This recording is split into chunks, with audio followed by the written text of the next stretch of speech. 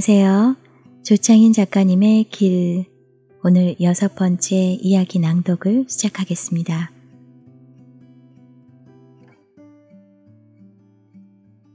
봉산동 1306-12 마침내 거기 엄마의 주소가 있다. 붉은 벽돌의 2층 집이다. 복덕방 할아버지는 벽에 붙은 커다란 지도를 손가락으로 짚어가며 말해주었다. 제일 교회부터 찾아야 한다.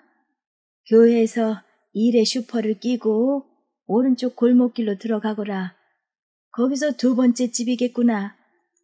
승우는 다시금 주위를 둘러본다. 제1교회와 일의 슈퍼, 그리고 두 번째 집. 소리쳐 부르면 당장이라도 엄마가 대문을 열고 달려나올 듯하다.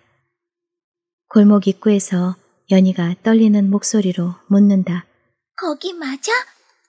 승우는 크게 두 번 고개를 끄덕인다. 하지만 연희는 머뭇거릴 뿐 다가오지 않는다. 조금 전까지 손뼉을 치며 기뻐하던 연희다. 승우는 다가가 손을 잡아 끈다. 잔뜩 겁을 집어먹은 얼굴로 연희가 따라온다.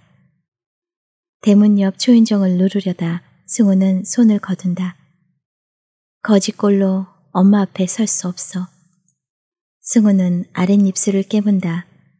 엄마 없이도 잘 지내고 있었다고 일부러 광고할 필요는 없다. 하지만 거짓골로 나타나 엄마를 속상하게 할 이유는 더더욱 없다. 연희의 오리털 코트를 벗긴다. 연희의 뺨에 남아있는 눈물 자국을 소매에 침을 묻혀 닦아낸다.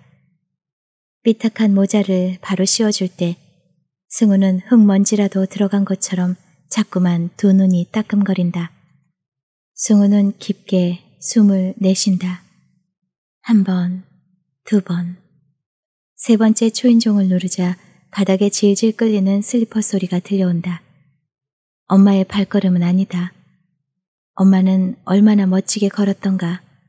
언제나 사뿐사뿐 구름 위를 걷는 것 같았다. 대문이 열린다. 세 마리의 새끼를 한꺼번에 품고 있는 어미 캥거루처럼 엄청난 배불뚝이 아줌마가 나타난다. 너희들은 누구냐? 묻고 나서 아줌마는 늘어지게 하품을 깨문다. 엄마를 찾아왔는데요. 엄마를 왜 여기서 찾냐? 승우는 편지 봉투를 내민다. 활 시위를 당기는 모습으로 아줌마는 멀찍이 손을 뻗어 봉투의 주소를 쳐다본다. 주소는 맞다만 정명이라는 이름은 못 들어봤다. 우리 집은 다세대 주택이라 여섯 가구나 산다. 아, 일일이 이름을 기억할 순 없지. 현재 여기에 살고 있다고 하던? 승우가 선뜻 대답을 못하자 아줌마는 다시 봉투를 살핀다. 3년 전이구나. 그렇다면 여기 살지 않는 게 확실하다. 3년 넘게 새들어 사는 가구는 하나도 없으니까. 승우는 연희의 손을 힘주어 쥔다. 그러나 연희를 제대로 쳐다볼 수 없다. 이미 연희의 눈에서 뚝뚝 눈물이 떨어지고 있으리라. 아줌마가 승우에게 묻는다. 어디서 왔니? 서울에서요. 멀리서 왔다며 아줌마는 혀를 찬다. 혹시 이상한 사람 중에 있었을지도 모르겠다.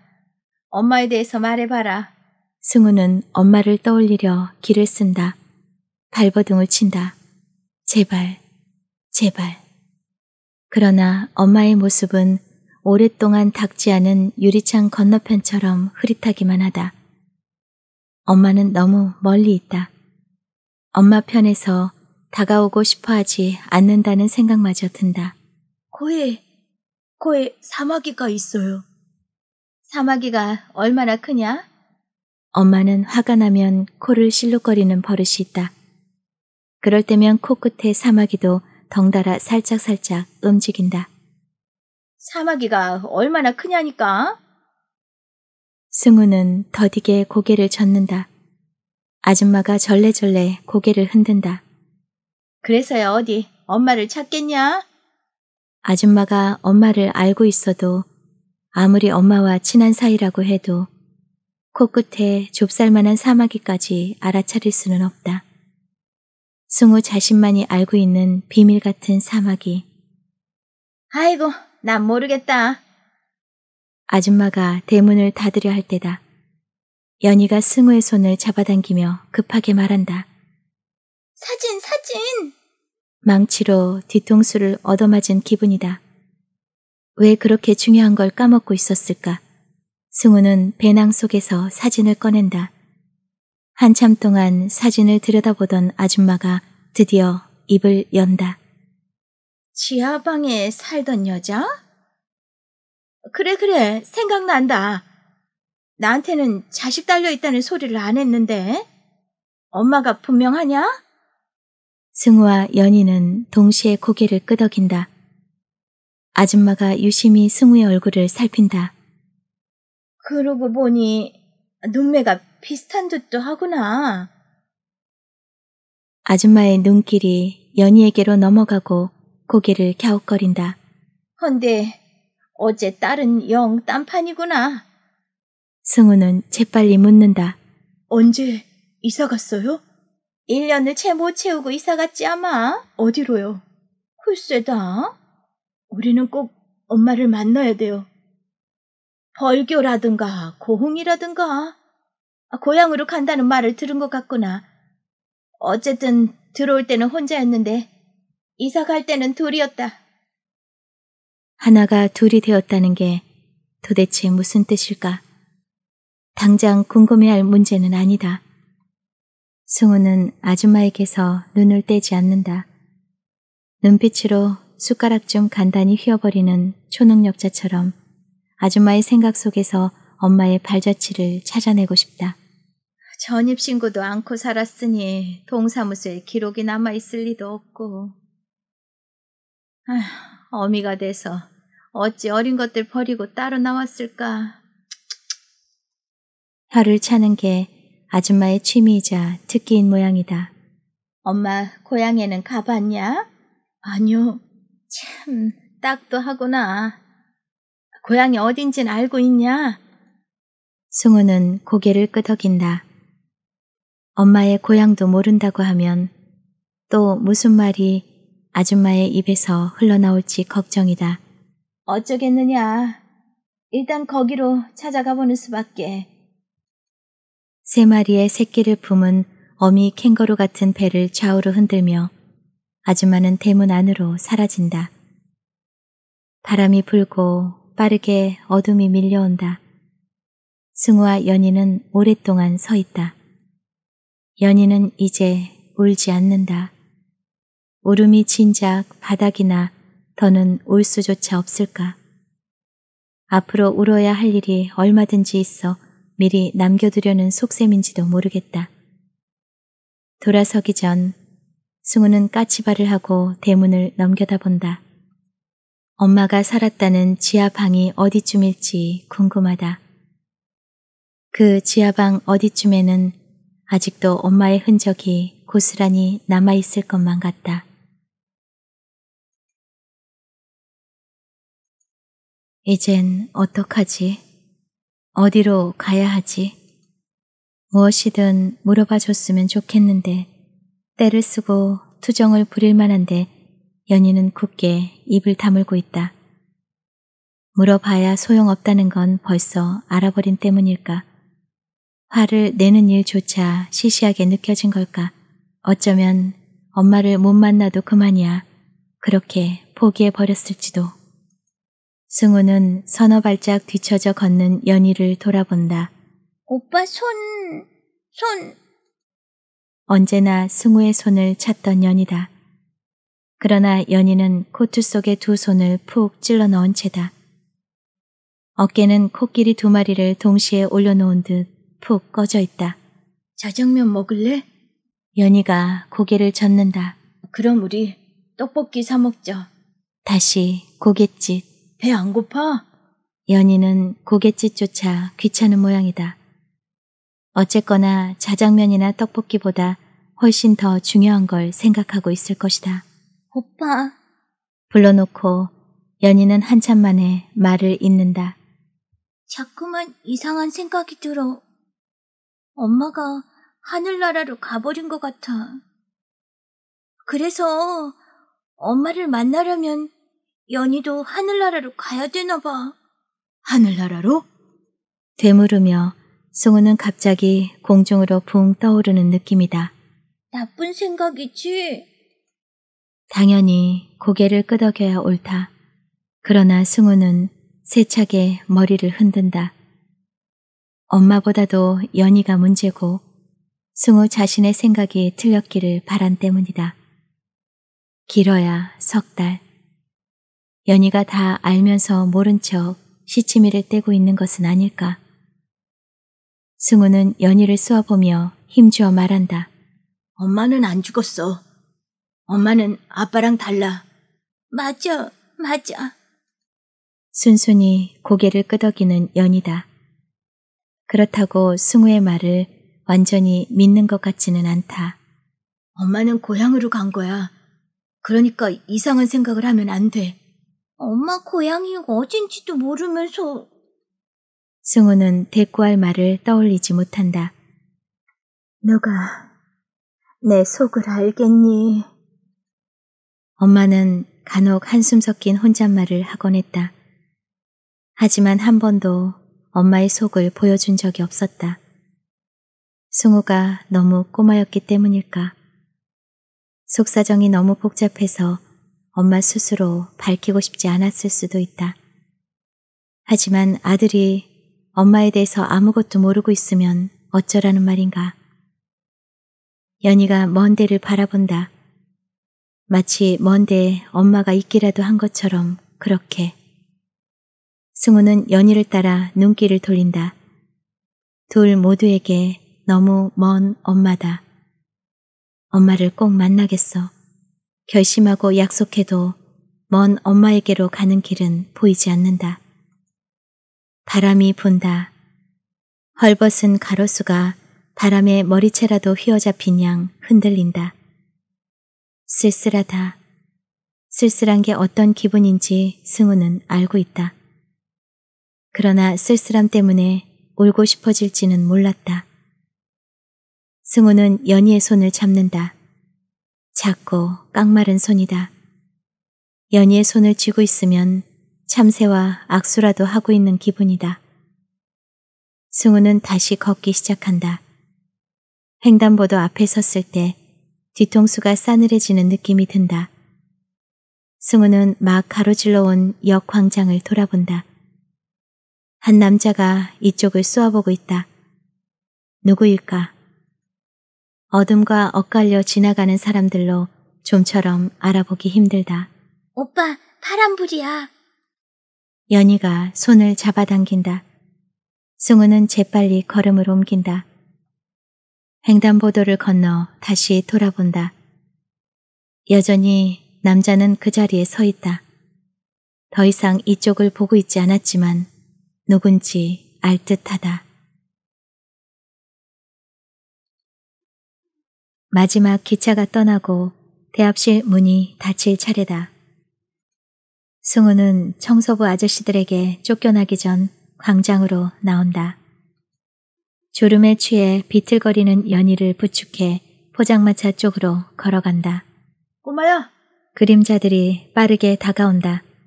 세 명이고 상호형 또래로 보인다. 그중 머리카락을 온통 초록색으로 염색한 형이 승우의 앞을 가로막는다. 너희들 집 나왔지? 아니요. 초록머리가 이빨 사이로 침을 찍 뱉고는 말한다. 노가리 까지 마. 이틀 동안이나 대합실에서 죽 때리는 거 다 봤어. 집 나온 게 아니고요. 승우는 엄마를 찾아가는 중이라는 말을 덧붙이기 싫다. 그러나 무슨 자랑거리라도 되는 양 말하는 연이다. 한쪽 귓볼에 탁구공만한 귀고리를 매단 또 다른 형이 묻는다. 너희 엄마가 어디에 있는데? 승우도 연희도 대답하지 않는다. 귀고리가 콧방귀를 끼고는 엄지와 검지로 동그라미를 만들어 보인다.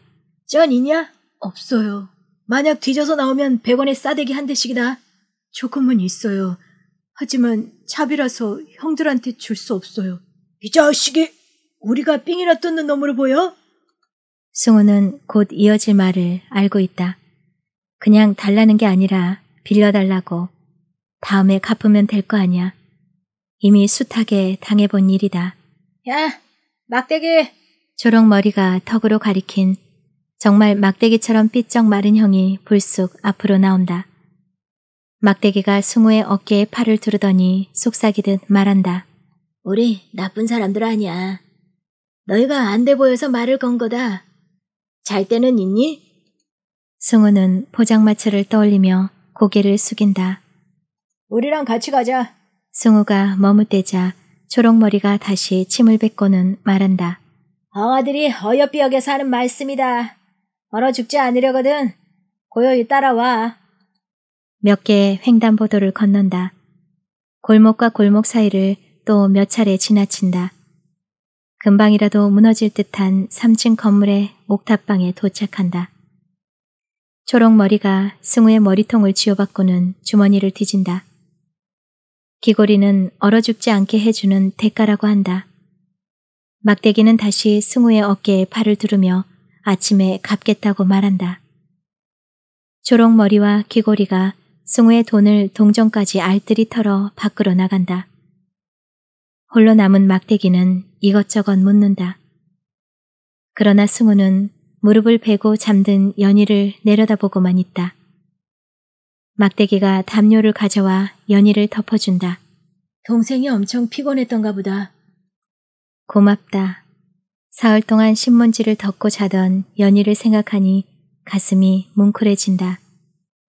승우는 새삼스레 막대기 얼굴을 쳐다본다. 막대기가 소리 없이 웃고는 막대기가 소리 없이 웃고는 묻는다. 승우는 간단하게 대답했다. 그러나 오래지 않아 승우 편에서 묻지 않은 말까지 꺼낸다. 이제 어떻게 엄마를 찾아야 할지 모르겠어요. 막대기가 청바지 뒷주머니에서 담배를 꺼낸다. 한동안 천장에 매달린 백열전부를 바라보며 연기를 뿜어댄다. 깊은 생각에 빠져 있는 듯하다. 아니, 생각이 너무 많아 그저 멍청하게 허공만 바라보고 싶은 모양이다. 승우는 막대기 곁으로 다가앉는다. 형은 왜 집을 나왔어요?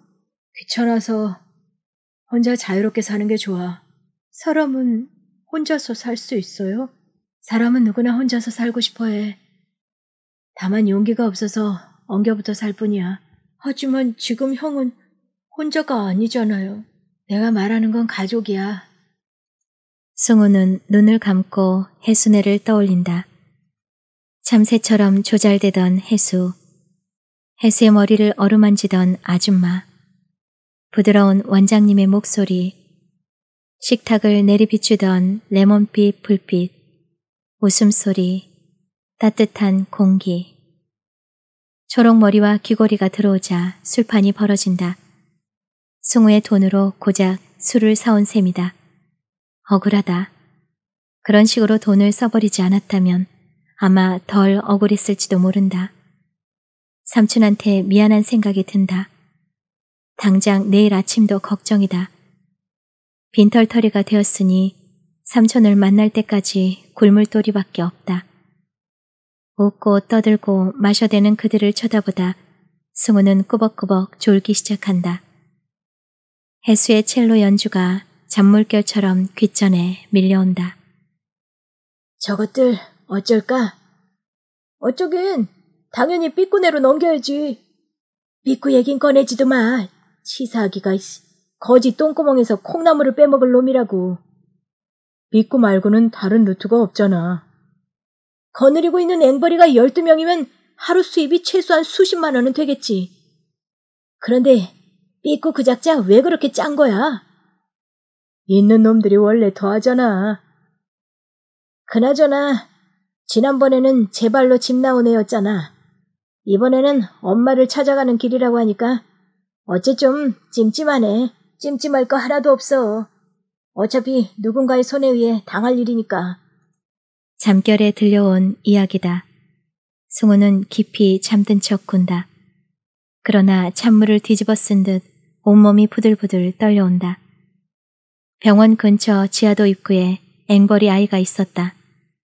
석 달 열을 세수를 하지 않은 듯 얼굴은 지저분했고 머리통에는 쥐가 뜯어먹은 듯 부스럼자리가 듬성듬성했으며 기다랗게 자란 손톱 밑마다 새까맣게 때가 들어차 있었다.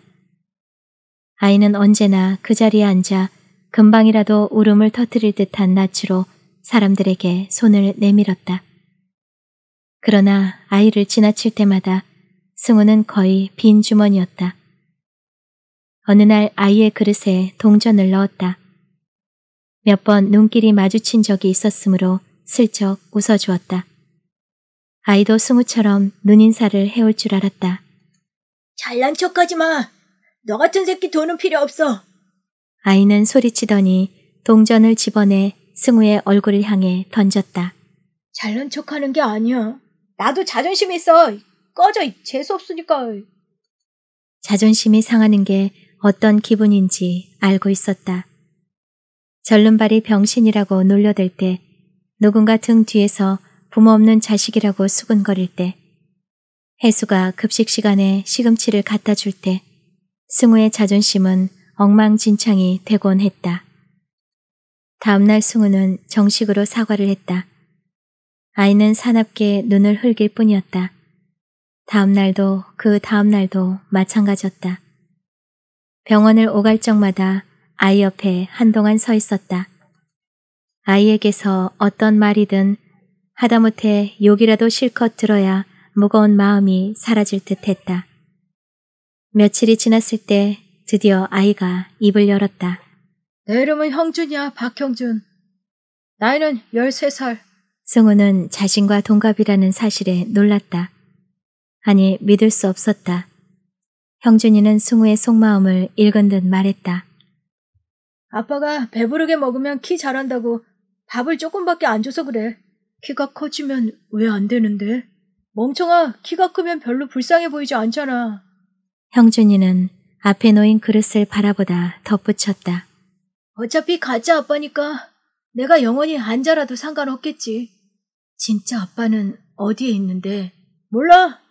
난 내 이름하고 나이밖에 아는 게 없어. 지금도 배고파? 형준이 힘없이 고개를 끄덕였고 승우는 다시 물었다. 도망가지 그러니? 몇 번 토꼈어. 그때마다 걸려서 죽도록 얻어 터지기만 했지. 포기했어. 뭐 토낀다고 좋아질 것도 없어. 가짜 아빠 말고도 날 못 살게 굴 놈들은 수두룩해. 어딜 가든 구걸해야 하는 일도 마찬가지야. 그리고 이건 비밀인데 형준이는 주위를 여러 차례 두리번거린 후 속삭이듯 말했다. 앵벌이를 하면 좋은 점도 있어. 많은 사람들이 나를 쳐다보잖아. 사람들이 쳐다보는 게 좋으니? 솔직히 기분 나빠. 그래도 그 정도는 참아야 한다고 생각해. 왜냐면 나는 엄마 아빠 얼굴을 몰라. 하지만 엄마 아빠는 나를 금방 알아볼 수 있을 거야. 그날 이후 형준이는 만날 때마다 승우의 손에 500원짜리 동전 하나씩을 쥐어주었다. 오락실에 가보는 게 형준이의 소원이었다. 돈을 감췄다가 들키면 가짜 아빠한테 죽도록 얻어 터지기 때문에 5천 원이 될 때까지 승우가 보관하기로 했다. 결국 형준이는 오락실에 가지 못했다.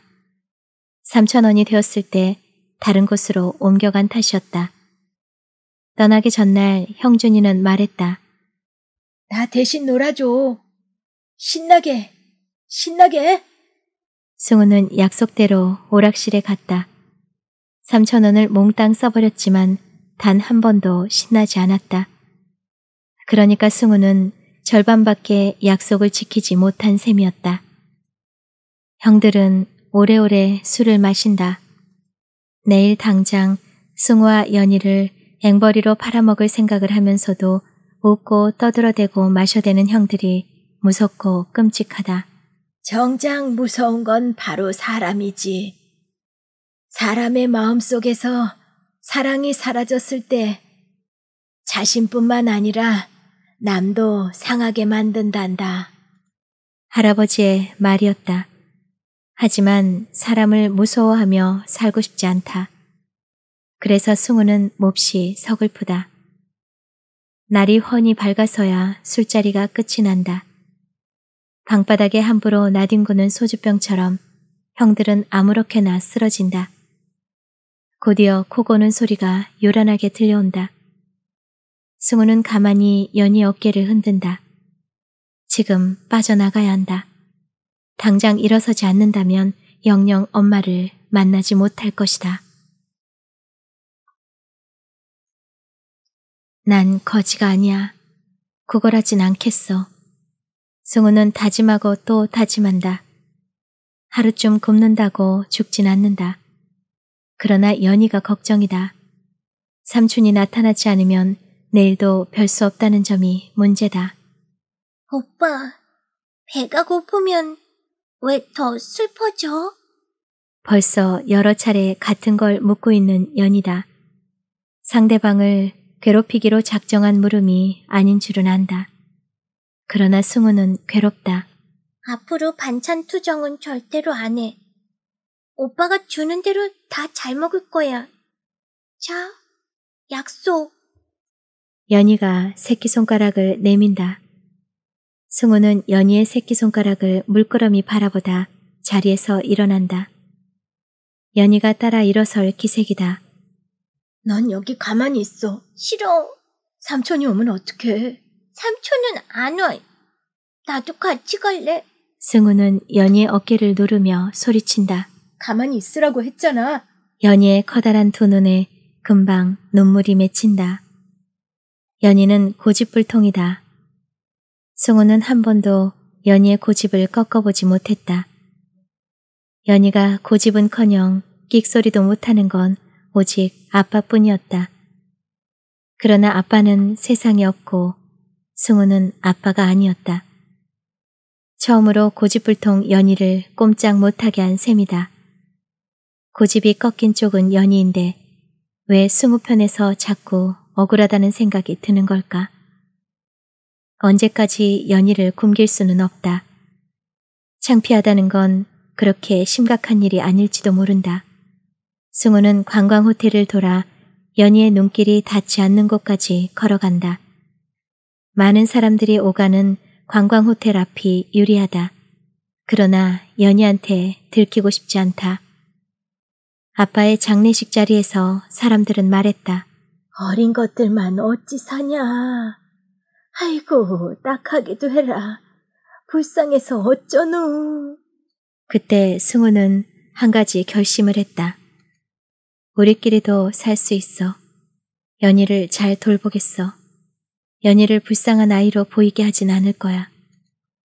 헌옷이지만 깨끗이 빨아입혔다. 수시로 연희의 손톱과 귓속을 검사했다. 학교 준비물도 빼놓지 않고 챙겨주었다. 그리고 어른들 앞에서는 일부러라도 명랑한 척해야 한다고 가르쳤다. 승우는 주위를 둘러본다. 망설이고 망설이다 깊게 숨을 몰아쉰 후 택시를 기다리는 듯한 아주머니에게 다가간다. 저... 아줌마가 승우의 아래 위를 빠르게 훑어본다. 이내 어깨에 늘어져 있던 가방을 가슴 쪽으로 당긴다. 배가 고파서 그래요. 없어. 저리 가. 승우는 돌아선다. 등 뒤에서 꼬마아이의 목소리가 들려온다. 엄마, 배고프다고 하잖아. 저런 애들한테는 돈을 줘봤자 소용없어. 나쁜 데 써버리고 말아. 그러니까 돈을 주는 건 저 애들을 더 나쁘게 만드는 거란다. 알았지? 항의하고 싶다. 하지만 무슨 소용이 될지 알 수 없다. 어차피 아줌마 같은 어른들은 자기 편한 쪽으로만 생각하고 싶어 하는 법이니까. 두 번째는 근사한 코트를 입은 아저씨다. 듣지 못한 척 아예 딴 데를 쳐다본다. 세 번째, 네 번째, 모두 부자처럼 보이는 아저씨 아줌마다. 한결같이 가난뱅이처럼 굴거나 귀찮은 나치거나 신경질을 부린다. 달라진 점도 있다. 승우 자신이다. 처음에는 얼굴 위에 바퀴벌레가 백마리쯤 기어다니는 것 같았다. 조금씩 창피함은 줄어들고 있다. 창피함도 거지가 된다는 것도 생각보다 훨씬 간단한 모양이다. 형준이의 말에 의하면 불쌍하게 보일수록 더 많은 돈을 벌게 된다고 했다. 승우는 언제든 울음을 터뜨릴 준비가 되어 있는 듯 하던 형준이의 얼굴을 떠올린다. 이만하면 충분히 불쌍하게 보일 거야. 하지만 반 시간이 지나도록 동전 한 입 얻지 못한다. 슬금슬금 걱정이 되기 시작한다. 오빠가 없으면 큰 일이라도 나는 줄 아는 연이다. 일단 연희를 안심시켜줘야 한다고. 관광호텔 쪽으로 몸을 돌렸을 때다. 얘야. 허리와 무릎이 접힌 할머니다. 두 손에는 커다란 보따리를 들고 있어 금방이라도 주저앉을 듯 위태롭다. 보따리 사이로 배추와 호박 따위가 삐죽 드러나 있다. 대단히 배가 고픈 모양이로구나. 승우는 대답하지 않고 푹 고개를 숙인다. 더 불쌍하게 보이기 위해서. 하지만 곧 후회한다. 까맣게 때가 낀 할머니의 버선과 뒤축이 터져 실로 깨맨 고무신이 치마 밑으로 드러나 있다. 할머니는 보따리를 바닥에 내려놓고는 치마 속으로 손을 집어넣는다. 이어 꼬깃꼬깃 접힌 천 원짜리를 내민다. 이거로 허기나 속이렴. 더 주고 싶어도 장사가 영 신통치 않은 날이로구나. 승우는 받고 싶지 않다. 받을 수 없다. 할머니한테 천 원은 굉장히 큰 돈이라는 생각이 든다. 아니다. 천 원이 크든지 적든지 상관없다. 승우는 벌써 돈보다 백배쯤 중요한 걸 받은 느낌이다. 할머니는 기어코 승우의 손에 천 원을 쥐어주고 멀어져 간다. 냉큼 달려가 보따리라도 대신 들어야 한다고 마음먹는다. 그러나 승우는 멀거니 서 있기만 한다. 초코파이 8개와 우유 하나를 사들고 관광호텔 앞으로 돌아온다. 연희가 없다. 화단턱에 엉덩이를 붙이고 가만히 앉아 있어야 할 연희다. 재빨리 주위를 둘러보지만 연희의 모습이 눈에 들어오지 않는다. 머릿속이 텅 비어버린 듯하다. 서 있기조차 힘들 만큼 다리가 심하게 떨린다. 연희야! 연희야! 악을 쓴다. 그러나 목구멍을 코르크 마개로 틀어막은 것처럼 승우 자신에게조차 가늘고 아득하게 들린다. 구걸하는 사이 어느덧 어두워졌다. 어둠과 함께 추위가 몰려왔다. 연희는 어둠과 추위를 피해 먼저 대합실에 가 있는 것일까. 역으로 가려고 막 발걸음을 떼어 놓았을 때다. 오빠, 등 뒤에서 연희의 목소리가 들려온다. 연희는 화단 안쪽 키 작은 나무 뒤에 있다. 반갑고 고마워 덥석 안아주고 싶은데 왜 화부터 날까? 거기 있으면 어떡해. 놀랬잖아. 연희의 얼굴은 눈물 범벅이다. 자기를 버리고 도망이라도 쳤다고 생각한 모양이다. 제일 소중한 사람이 바로 연희. 바로 너야. 그걸 까먹어선 절대로 안 돼. 승우는 분명히 말해주려 한다. 연희의 울먹이는 목소리가 먼저 튀어나온다. 다 봤어. 뭘? 오빠가 거지처럼 동냥하는 거 다 봤단 말이야.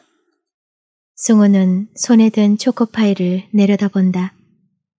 달리 대꾸할 말이 떠오르지 않는다.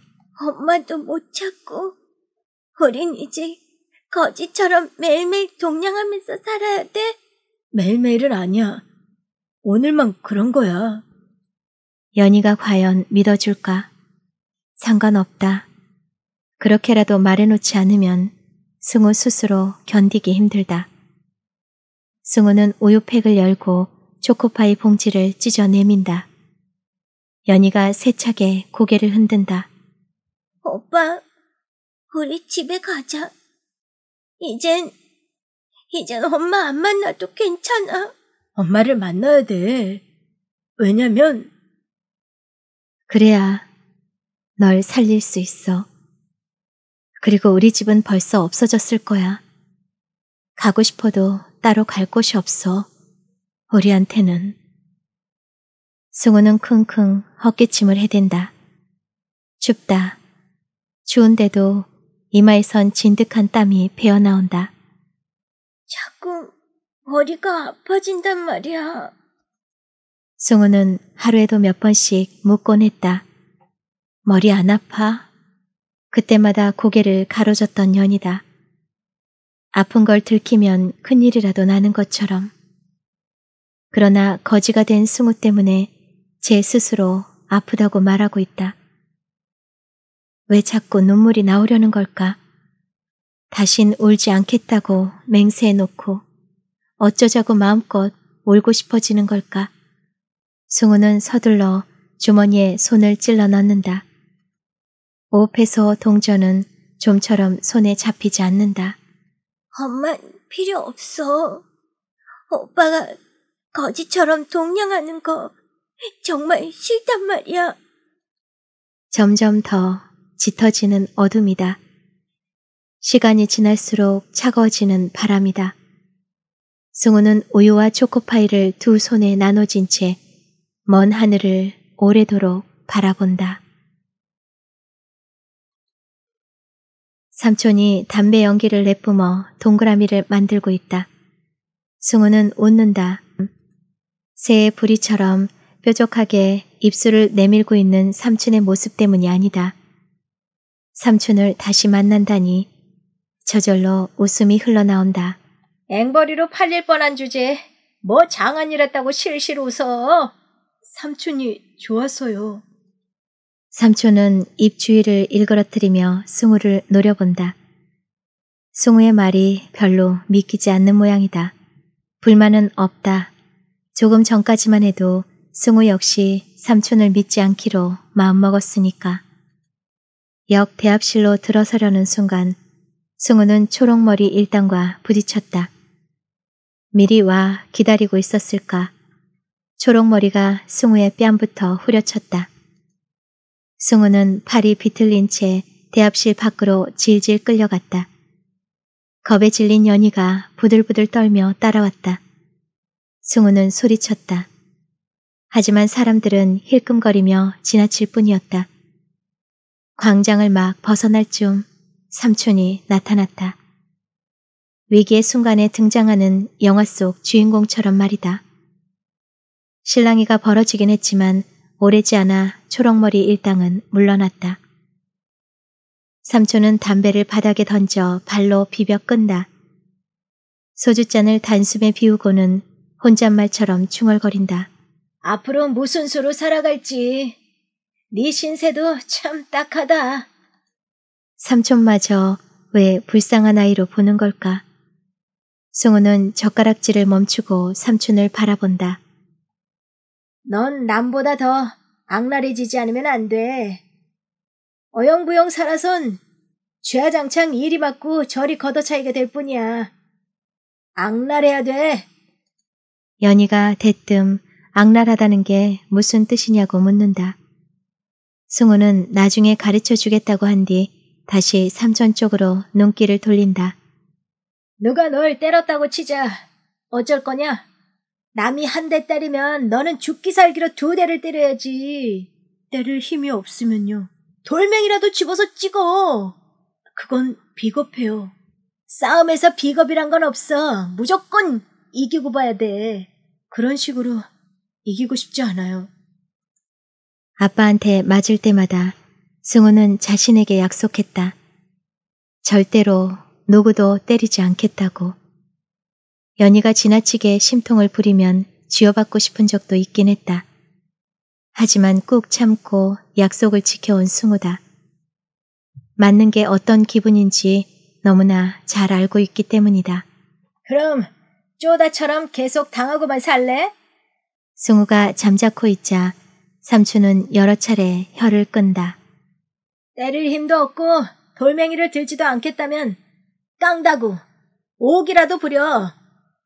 차라리 더 얻어맞기 위해 대들기라도 하란 말이야. 절대 약한 모습을 보여선 안 돼. 한 대 맞을 걸 일부러라도 두 대, 세 대 맞아. 널 때리다 그놈이 지치면 그땐 네가 이긴 거야.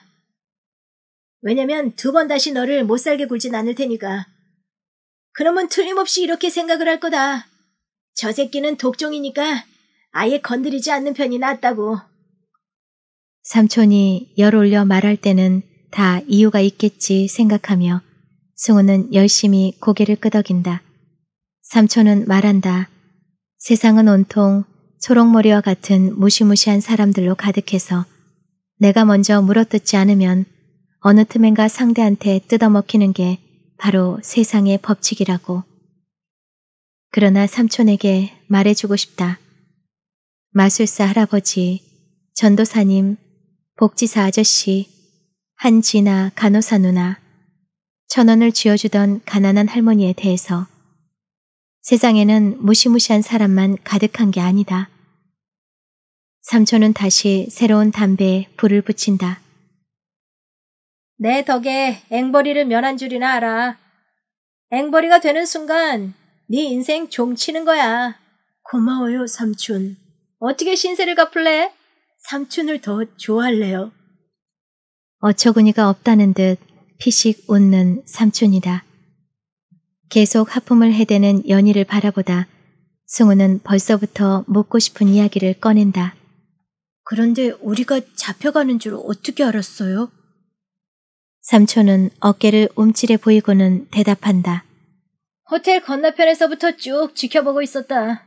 길을 건너면 간단하잖아요. 누군 몰라, 임마? 도망자라는 사실을 잊고 있었다. 삼촌이 리처드 킴벌처럼 누명을 벗기 전까지는 조심조심 움직여야 한다. 승우는 마음이 급해진다. 어젯밤 역 광장에서요. 산동네에서 삼촌 찾던 사람을 봤어요. 삼촌은 입에 대려던 술잔을 탁자에 내려놓는다. 아니다. 탁자에 닿기 전에 술잔은 손에서 미끄러지고 술이 쏟아지고 똑 떼구르르 탁자 위로 굴러 바닥에 떨어진다. 연희가 아프다. 포장마차 안에서 신문지를 덮고 자면서도 잘 견뎠다. 그런데 어찌된 셈일까? 춘자 누나 친구의 연립주택, 뜨끈뜨끈한 보일러 방에 눕는 순간부터 끙끙 앓는 소리를 내고 있다. 머릿속에서 덜덜 떨며 꼼짝 못하던 나쁜 세포들이 한꺼번에 만세 부르며 야단 법석을 떠는 모양이다. 어쩌다 눈을 뜰 때마다 승우는 묻는다. 많이 아파? 병원을 통틀어 최고의 엄살꾸러기라는 소리를 듣던 연이다. 그런데도 슬며시 고개를 젓는다. 다시 병원으로 돌아갈까봐 지레 겁을 내고 있는 것이다. 아프면 아프다고 말해. 차라리 입 다물고 가만히나 있을 걸. 후회하면서도 승우는 묻고 또 묻는다. 어떡하니? 어떡해? 춘자 누나는 발이라도 동동 구를 듯 안타까워한다. 별 속을 다 썩이는군. 삼촌의 말이다. 섭섭하다.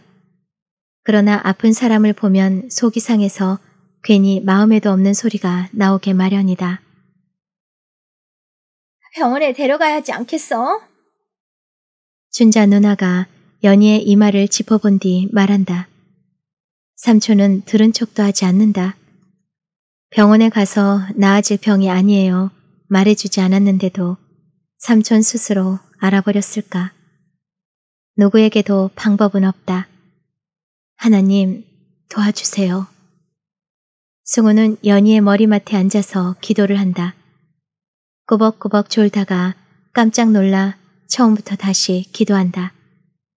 자주, 오래 눈을 감고 있어도 기도할 내용이 많은 건 아니다. 너무 간단해서 오히려 불쑥불쑥 딴 마음이 들곤 한다. 엄마는 왜 우리를 떠났을까? 오래전 더 이상 생각하지 않기로 한 문제다. 생각해봤자 엄마에 대한 미움만 커질 뿐이다. 스스로를 못살게 구는 바보짓이다. 알면서도 새삼스레 궁금해진다. 엄마가 우리를 보고 싶어 할까? 보고 싶어 하지도 않는다면 어쩌나 그런 엄마를 만나도 기적이 일어날까? 정성 떤다고 아무것도 달라지지 않아. 승우는 눈을 떠 삼촌을 바라본다. 기도했어요. 기도나 청승이나 그게 그거지. 잠 안 오면 이리 와서 잔이나 채워. 삼촌과 함께 술을 마시던 춘자 누나는 외출을 했다. 방을 빌려준 친구를 만나기 위해서라고 한다. 삼촌 혼자서 연신 술잔을 비워대고 있다. 따라. 승우는 무릎을 꿇고 두 손으로 공손하게 술병을 잡는다. 최법이군. 술 따르는 거 하나는 제대로 배웠어. 아빠도 승우에게 술을 따르게 하곤 했다. 아주 특별한 날이었다. 그런 날에는 전혀 다른 사람처럼 보이던 아빠다. 앞으로는 너희를 남부럽지 않게 키울 테니까 기다려라. 그러나 대부분 아빠의 기분은 엉망진창이었다. 삼촌은 턱수염을 엄지와 검지를 이용해 힘껏 뽑아낸다. 아프겠다. 승우는 삼촌을 말리고 싶다. 그러나 삼촌의 버릇이다. 누구나 버릇은 있다. 남이 뭐라 해도 좀처럼 고쳐지지 않는다. 승우가 눈을 깜빡거리는 것처럼. 승우는 눈을 깜빡이는 버릇 때문에 아빠한테 자주 얻어맞았다. 다리 병신이 모자라서 눈깔 병신까지 되고 싶은 거냐. 아빠 앞에선 오로지 깜빡거리지 않으려고 안간힘을 썼고 다른 생각은 아예 할 수 없게 되었다. 또 딴전을 부린다고 얻어맞곤 했다. 아빠는 아들의 버릇이 마음에 안 들었겠지만 그 때문에 아들은 자주 바보 멍청이가 되었다. 승우는 술잔이 빌 때마다 술병을 든다. 삼촌은 갑자기 승우에게 술잔을 내민다. 승우를 춘자 누나와 착각이라도 한 것일까? 마셔봐. 못 마셔요. 사내라면 술을 마실 줄 알아야지. 넌 뭐든지 남들보다 빨리 배워야 돼. 그러지 않고선 살아남을 재간이 없어. 어른들의 세계에 엄청난 비밀이 숨어 있는 듯 보이진 않는다. 다만 학년이 올라갈수록 복잡하고 어려워지는 수학 문제처럼 어른이 되는 일도 비슷하다는 생각이 든다. 어른이 되고 싶지 않다는 생각이 들곤 했다. 어른들의 머릿속에 무엇이 들어있는지 궁금할 것도 없었다. 어른 흉내는 더더욱 질색이었다. 다른 아이들처럼 꼭 그렇게만 살고 싶다. 엄마가 차려주는 아침을 먹고 급식비를 제대로 내고 학원도 과외도 다닐 수 있었으면 좋으련만.